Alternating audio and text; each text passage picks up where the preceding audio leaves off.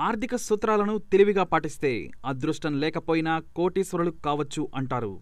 World richest person Warren Buffett పంతొమ్మిది వందల ముప్పై ఆగస్టు ముప్పై నెబ్రాస్కాలో పుట్టాడు వారెన్. తనకు చిన్నప్పటి నుంచి కంపెనీలు పెట్టాలనే కోరిక ఉండేది కానీ చేతిలో పెద్దగా డబ్బుండేది కాదు. కానీ తనకు తెలిసిన క్లోజ్ ఫ్రెండ్స్తో తలా వంద డాలర్లతో చిన్న వ్యాపారం మొదలుపెట్టాడు. అప్పు చేయకూడదనేది వాన్ బఫెట్ బలంగా నమ్మే బంగారు మాట. అప్పు లేకుండా తెలివిగా ఎలా సంపాదించవచ్చో చూడండి.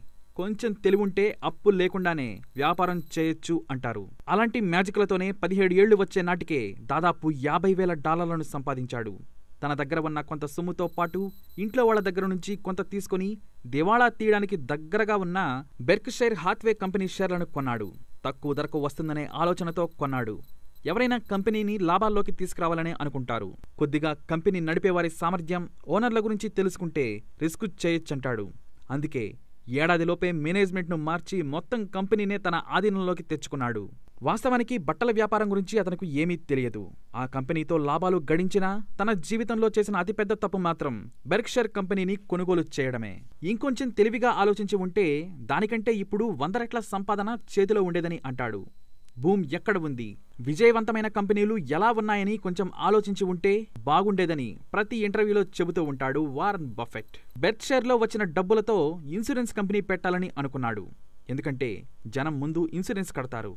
కానీ వాళ్ళకు ఎప్పుడో పోయేటప్పుడో లేదంటే పోయే ముందో తప్పితే పెద్దగా డబ్బులు తిరిగి ఇచ్చే అవసరం ఉండదు. అందుకే ఇన్సూరెన్స్ కంపెనీ స్థాపించి అందులో వచ్చిన డబ్బులతో భవిష్యత్తులో ఏ కంపెనీ చక్రం తిప్పుతుందో గ్రహించి అన్నింటిలోనూ పెట్టుబడులు పెట్టాడు వారన్ బఫెట్ అదే జీకో ఇన్సూరెన్స్ కంపెనీ దీంతో వాషింగ్టన్ పోస్ట్లో కూడా భారీగానే ఇన్వెస్ట్ చేశాడు.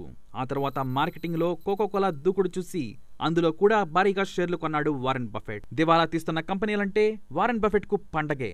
వాటిలో ఎలాంటి మార్పులు చేస్తే కంపెనీ లాభపడుతుందో గ్రహిస్తాడు. సర్వే చేస్తాడు.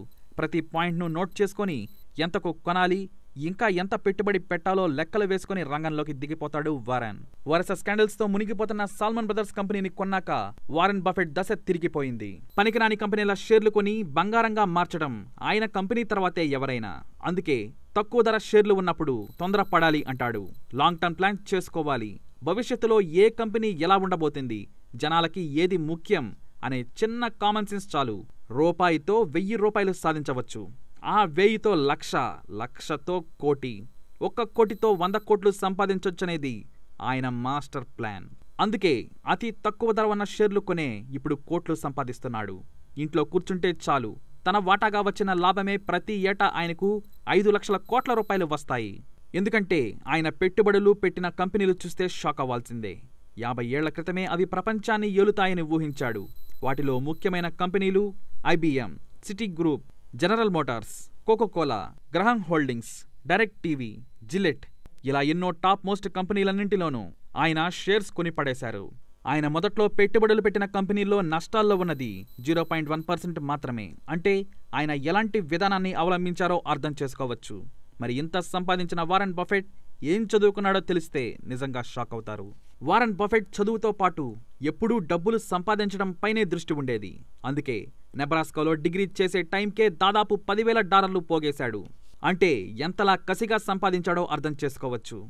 కొలంబియా యూనివర్సిటీ నుంచి ఎకనామిక్స్లో పీజీ చేశాడు వారన్ బఫెట్. అక్కడే బెంజమిన్ గ్రహం కింద చదువు నేర్చుకోవడం ఆయన దశ దిశను మార్చేశాయి. తెలివిగా ఇన్వెస్ట్ ఎలా చేయాలో ఆయన దగ్గరే నేర్చుకున్నారు వారెన్. డబ్బును ఎప్పుడూ గౌరవించాలనేది ఆయనది మొదటి సూక్తి. అవసరం లేకుంటే చాక్లెట్ కూడా కొనొద్దంటారు ఆయన. డబ్బును ఎప్పుడూ కోల్పోయే పరిస్థితి తెచ్చుకోవద్దనేది ఆయన నమ్మే మొదటి సిద్ధాంతం. దీనిని మరిచిపోకుండా ఉండటాన్నే రూల్ నెంబర్ టూగా పెట్టుకున్నారు ఆయన నువ్వు ఏం చేస్తున్నావో తెలియనప్పుడే రిస్కులో పడతావు. నీకంటే మంచి ప్రవర్తన విలువల ఉన్న వాళ్ళతో జతకట్టు బాగుపడతావంటారు వారెన్ బఫెట్. మంచి పేరు సంపాదించుకోవాలంటే ఇరవై ఏళ్ళు పడుతుంది. కానీ దానినే నాశనం చేసుకోవాలంటే క్షణం చాలు. ఈ విషయం తెలిస్తే చాలు నువ్వు అద్భుతాలు చేస్తావు. ఎందుకంటే ఒళ్ళు దగ్గర పెట్టుకుని పనిచేస్తావు అంటారు వారెన్ బఫెట్. నిజాయితీ అనేది చాలా ఖరీదైనది. చీప్ వాళ్ళ దగ్గర నుంచి అది కోరుకోకు. ప్రపంచంలో విజయవంతమైన వాళ్ళంతా వాళ్ళు చేసే పనిని ఎంతో ప్రేమిస్తారు. అందుకే సక్సెస్ అయ్యారు. మీరు కూడా మీరు చేసే పనిని ప్రేమించండి. ఆటోమేటిక్గా డబ్బులు వస్తాయి. ప్రేమలో నుంచే కష్టం వస్తుంది. అందులో నుంచే డబ్బులు పుడతాయంటారు వారెన్. కానీ ఇంత సంపాదించినా ఆయన ఎప్పటికీ యాభైల నాటి ఇండ్లలోనే ఉంటాడు.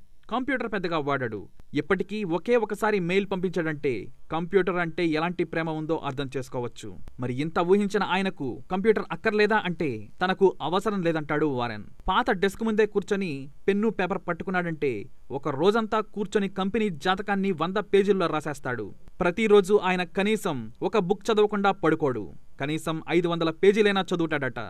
చదివితే మెదడుకు షార్ప్నెస్ వస్తుందంటారు ఆయన. మరి ఇంకేం? ఆయన చెప్పిన మాటలను కసిగా తీసుకుంటే మనకు ఎంతో కొంత మేలు మాత్రం జరుగుతుంది. ఇదే వారన్ బఫెట్ సూత్రం. మరి డబ్బు సంపాదించుకోవాలి అనుకునేవారు తప్పకుండా పాటించండి. అలాగే మీ అమూల్యమైన కామెంట్ని ప్రతి ఒక్కరికి తెలియజేయండి. ఈ వీడియోని తప్పకుండా షేర్ చేయండి మా ఛానల్ని సబ్స్క్రైబ్ చేసుకోండి.